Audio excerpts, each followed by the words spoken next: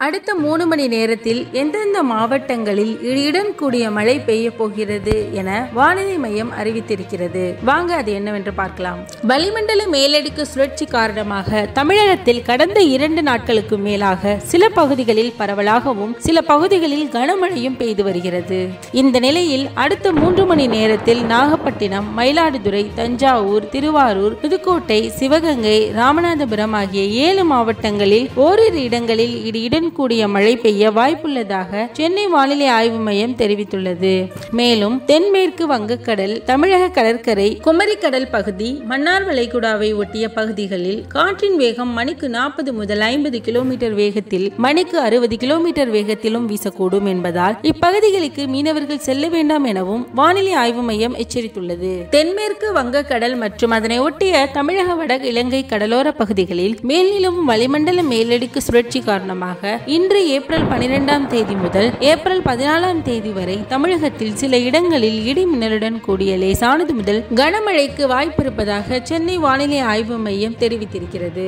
இன்று தமிழகம் புதுவை மற்றும் காரைக்கால் பகுதிகளில் ஒரு சில இடங்களில் இடி மின்னலுடன் கூடிய லேசானது முதல் மிதமான மழையும் ராமநாதபுரம் திருநெல்வேலி தென்காசி தூத்துக்குடி தேனி கன்னியாகுமரி சிவகங்கை விருதுநகர் திண்டுக்கல் மதுரை ஆகிய தென் மாவட்டங்களில் ஓரிரு இடங்களில் கனமழை பெய்ய வாய்ப்புள்ளதாகவும் தெரிவிக்கப்பட்டுள்ளது. தமிழகம் புதுவை மற்றும் காரைக்கால் பகுதிகளில் ஓரிரு இடங்களில் லேசானது முதல் மிதமான மழை பெய்யலாம் என சென்னை வானிலை ஆய்வு மையம் தெரிவித்துள்ளது.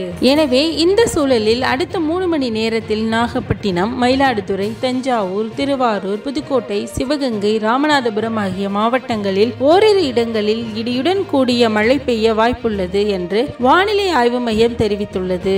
அத்துடன் தென்மேற்கு வங்கக்கடலில் தமிழக கடற்கரை குமரி பகுதி மன்னார் வளைகுடாவை ஒட்டிய பகுதிகளில் காற்றின் வேகம் மணிக்கு நாற்பது முதல் ஐம்பது கிலோமீட்டர் வேகத்திலும் இடையிடையே அறுபது கிலோமீட்டர் வேகத்திலும் வீசக்கூடும் என்பதாலும் குறிப்பிட்ட காலப்பகுதியில் மீனவர்கள் மேற்கண்ட பகுதிகளுக்கு செல்ல வேண்டாம் என அறிவுறுத்தப்படுகிறார்கள். இந்த தகவல் உங்களுக்கு பயனுள்ளதாக இருந்ததுன்னா ஒரு லைக் பண்ணுங்க. இந்த வீடியோ பத்தின கருத்துக்களை மறக்காம கமெண்ட் செக்ஷன்ல பதிவிடுங்க. நம்ம தமிழ் டீச் சேனலை சப்ஸ்கிரைப் பண்ணலாம் சப்ஸ்கிரைப் பண்ணிக்கோங்க. அப்படியே பக்கத்துல இருக்க பெல் பட்டனை கிளிக் பண்ணிக்கோங்க. அப்பதான் நாங்க போகிற வீடியோட நோட்டிபிகேஷன் உங்களுக்கு உடனுக்குடன் வந்து சேரும். தேங்க்யூ தேங்க்ஸ் ஃபார் வாட்சிங்